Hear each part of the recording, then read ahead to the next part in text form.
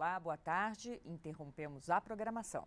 A presidenta Dilma Rousseff segue com a sua agenda de trabalho em Minas Gerais. De manhã, a presidenta visitou obras da linha férrea em Belo Horizonte e anunciou recursos para o anel rodoviário da capital.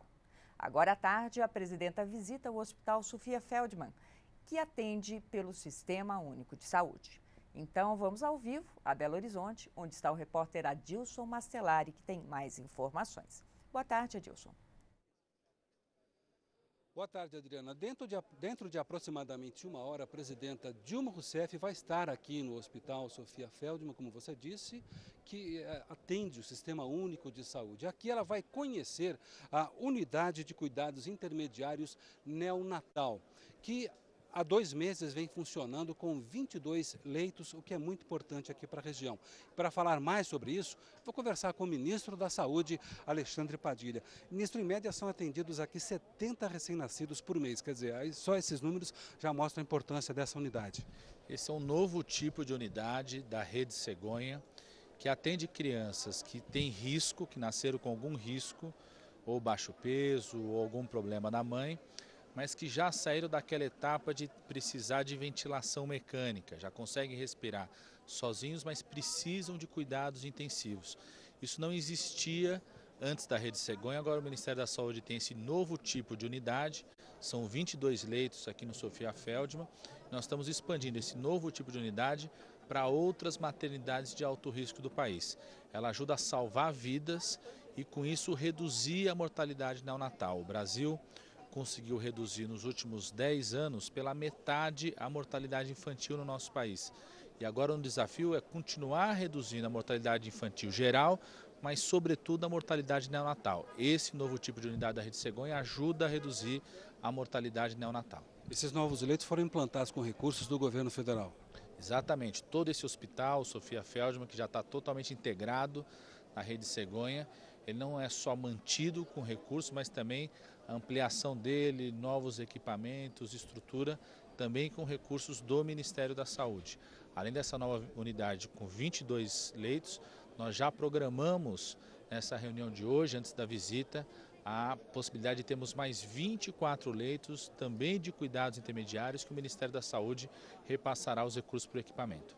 Aqui também o senhor assina o, a portaria que vai ampliar os recursos da Rede Cegonha para cinco regiões de, de Minas Gerais. Exatamente. Hoje em Minas Gerais nós temos mais de 400 municípios que já participam da rede cegonha do que nós chamamos da etapa do pré-natal, que é o acompanhamento da gestante antes do parto, que todo município, mesmo os pequenos municípios, tem que fazer e tem responsabilidade e recebem mais recursos para realizar todos os exames de graça, para buscar gestantes antes do primeiro trimestre como estímulo para que o pré-natal seja de qualidade.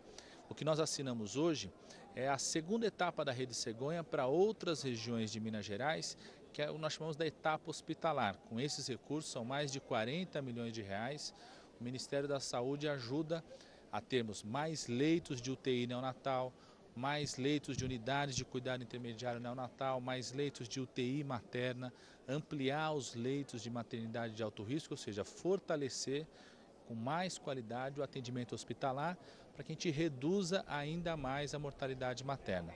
A rede Cegonha, que começou em 2011, já permitiu que o Brasil reduzisse em 21% os óbitos maternos comparado 2011 com 2010.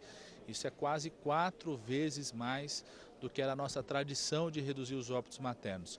Agora nós precisamos de mais qualidade na assistência hospitalar ao parto. A Rede Cegonha vem para isso, esses recursos estruturam regiões no interior de Minas para isso, para que a gente reduza ainda mais a mortalidade materna no nosso país. Ministro, além dessa atenção à infância, às gestantes, também há uma preocupação, por isso deve ser ampliar, devem ser ampliadas as unidades básicas de saúde. Exatamente isso. A presidenta Dilma nos determinou ao Ministério da Saúde ter um programa para ampliação das unidades básicas, que são aquelas unidades dos bairros onde as pessoas vivem, para que elas tenham estruturas mais adequadas para tudo aquilo que tem de mais moderno na medicina hoje. No Brasil inteiro são mais de 5.400 unidades sendo ampliadas e aqui no estado de Minas Gerais, hoje a gente repassa o recurso para ampliação de mais de 400 unidades básicas de saúde em todo o interior de Minas Gerais. Ministro, muito obrigado pelas suas informações e um bom evento daqui a pouco. Lembrando que dentro de aproximadamente uma hora, a presidenta Dilma Rousseff já vai estar aqui no Hospital Sofia Feldman.